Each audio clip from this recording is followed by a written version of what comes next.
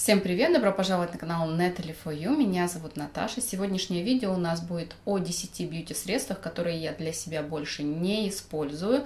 То, от чего я отказалась, считаю бесполезным, ненужным или же просто мне уже это перестало нравиться. Если вам такая тема интересна, то, конечно же, продолжайте смотреть. По традиции напоминаю вам, что подписка на канал есть внизу, а также там есть колокольчик, чтобы вы получали уведомления о выходе моих новых видео. Ну и ваши лайки и комментарии очень помогают развитию моего канала. На данное видео меня вдохновила Ольга Глосс, у которой недавно вышло такое видео, и Диана Суворова. С удовольствием смотрела видео девчонок и подумала, что, наверное, мои мысли очень сильно с ними сходятся, во-первых, а во-вторых, у меня есть и что-то свое, о чем я вам хочу рассказать сказать, но еще есть другие наметки, так скажем. А, возможно, выйдет еще одно видео, небольшой спойлер такой. Итак, первым делом я вам хочу рассказать про такую категорию, как палетки для лица. Я могу сказать, что я совершала несколько таких покупок, но каждый раз я понимала, что эта вещь абсолютно, ну, достаточно бесполезна. Лежит у меня в столе, и до сих пор несколько таких палеток у меня лежат в столе. Например, палетка для контуринга от Kat Von D, палетка от Becky, в которой несколько румян хайлайтеров, и палетка даже от Заива с четырьмя румянами. По сути, такие вещи вещи действительно нужны только для практикующих визажистов. Если ты обычный, нормальный, стандартный человек, который красит только себя, тебе не нужны три оттенка контуринга, и тебе не нужны там три оттенка хайлайтера. Да, как бы я могу сказать, что хайлайтеры мы, конечно, покупаем в разных оттенках, но тем не менее так почему-то получается, что вот эти палетки конкретно я не использую, потому что мне подходит какое-то одно средство из э, палетки, а палетка сама громоздкая, и получается, что она занимает, во-первых, место, во-вторых, эти средства за ненужностью у меня хранятся. Я считаю, что такие вещи действительно необходимы только визажистам. Ваше мнение, как обычно, жду внизу, внизу под видео в комментариях. Следующая категория – это салфетки для снятия макияжа. Какое-то время назад я активно, действительно активно пользовалась салфетками для снятия макияжа, и именно ими удаляла макияж. Но все-таки я понимаю, что именно салфетками как-то у меня кожа больше травмируется, тянется, и это не такое, не супер бережное. Во-вторых, мне почему-то большинство из салфеток стало щипать глаза, стало с ними некомфортно. Мне гораздо удобнее, спокойнее, практичнее с ватным диском, с мицеллярной водой, что я сейчас и практикую. Салфетки даже на случай дорожного варианта не беру, я просто отливаю мицеллярную воду в дорожный флакончик и пользуюсь. И да, как там специальных отдельных салфеток, например, когда я делаю сводчи вам на новую косметику или для видео, я тоже не имею, я могу удалить все это обычной влажной салфеткой. Следующая категория это корректоры под консилер для так скажем, цветокоррекции для убирания синяков, для убирания покраснений. Сюда бы я еще включила, наверное, какие-то вот цветные базы, которые я, в принципе, наверное, ну, да, были попытки их покупать, но у меня не зашло. Это те вещи, которые мне действительно не зашли. Во-первых, что касается корректоров или консилеров, как его, их э, многие называют, но это цветные консилеры, так скажем, а, которые наносятся непосредственно под обычный консилер. Для меня это действительно слоеный пирог, который создается под глазами и который делает, состаривает кожу под глазами. Мне не нравится этот эффект. И мне понимается, что такие вещи необходимы только для каких-то вот фотосъемок, где потом будет ретушь на лице, может быть. Я, в принципе, имею нормальную кожу, без каких-то выраженных супер недостатков, и вот в этой категории средств тоже не нуждаюсь. И следующая категория – это матовые жидкие помады.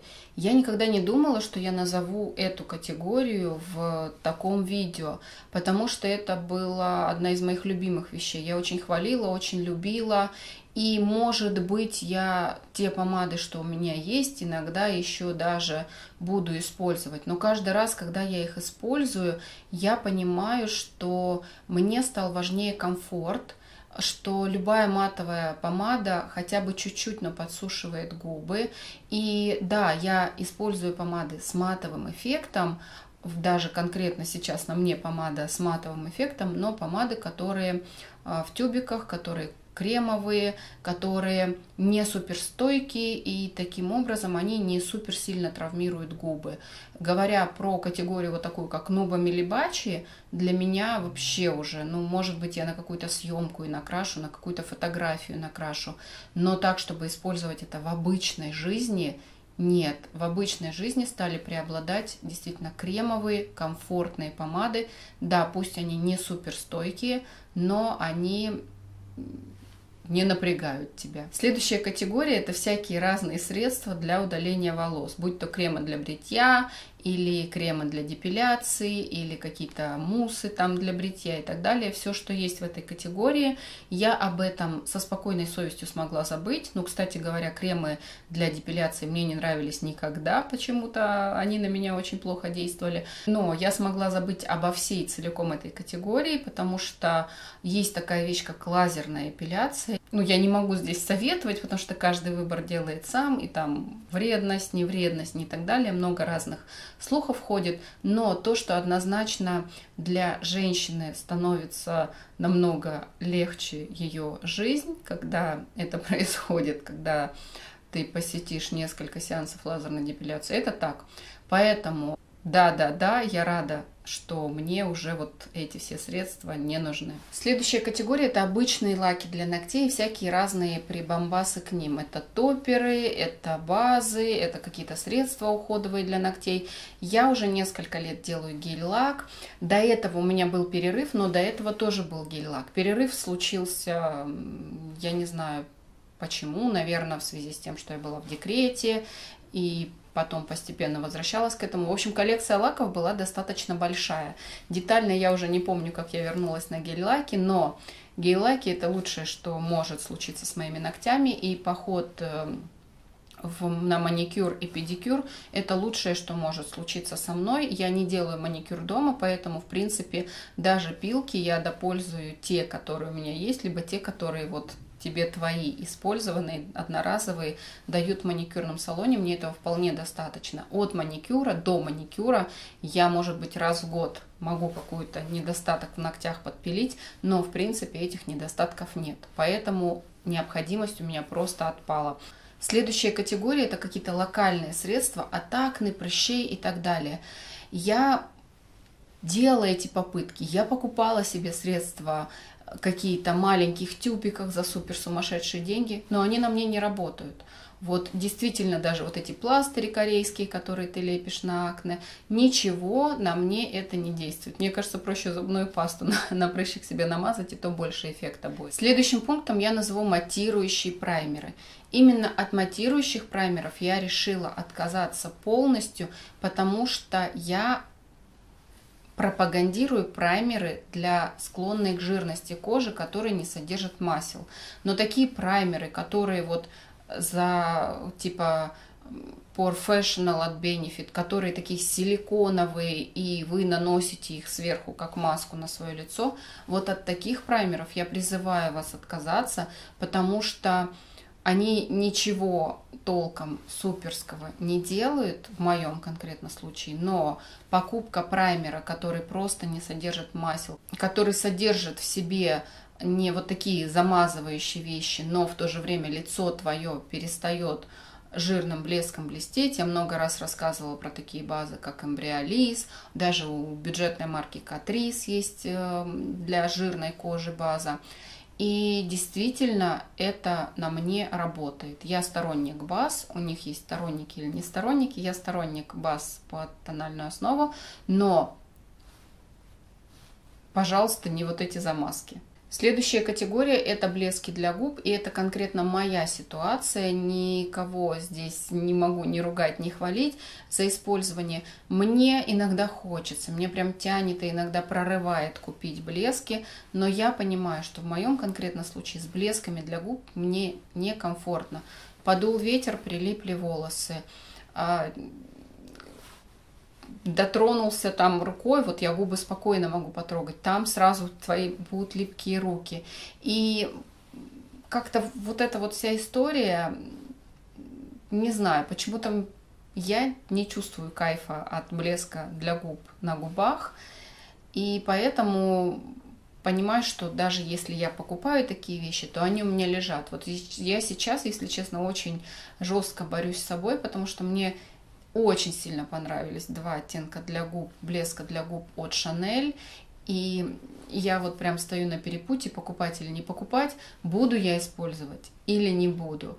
И до сих пор борюсь с собой, заставляю себя не покупать. Хочется, но бесполезная покупка будет, скорее всего. Ну и последним десятым пунктом у меня будет уходовое средство, и это такая категория целая, как эссенция.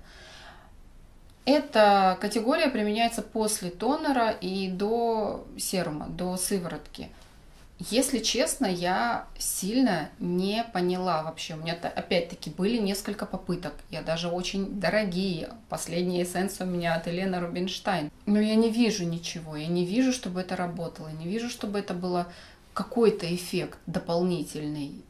Зачем она нужна, кроме как того, чтобы мы заплатили за нее деньги? По-моему, вот действительно ноль эффект. Я этот шаг не понимаю, к нам это пришло из Кореи, там, вы знаете, многоступенчатый вот этот уход, но для меня он абсолютно излишний. Я знаю, что есть много-много людей, которые просто пищат от восторга от эссенции от Миша Time Revolution. У нее очень много поклонников, и люди говорят, что это прям вау. Я ее купила. Я не поняла. Вот честно ничего. Ноль, зеро и полное разочарование. Очень быстро закончились 10 пунктов, как-то незаметно протекла наша беседа. Я надеюсь, что данное видео вам понравилось. Я с удовольствием встречусь с вами в комментариях, где вы поделитесь вашими средствами, от которых вы отказались, которые вы посчитали уже после какого-то времени использования ненужными в своем уходе или макияже или ежедневной рутине. Мне будет очень-очень интересно почитать это, и, возможно, у нас мнения сойдутся, что-то я забыла здесь упомянуть, и тогда последующие видео будут выходить на эту тему также. Большое спасибо, что посмотрели это видео, ваши лайки, комментарии и подписка на канал очень помогут моему продвижению, конечно же, и также не забывайте, что у меня есть инстаграм, на котором я появляюсь в моей ежедневной жизни очень-очень часто, практически каждый день бываю в сторис, ну и фотографии тоже иногда там появляются. Ну что ж, всем пока-пока, встретимся в следующем видео.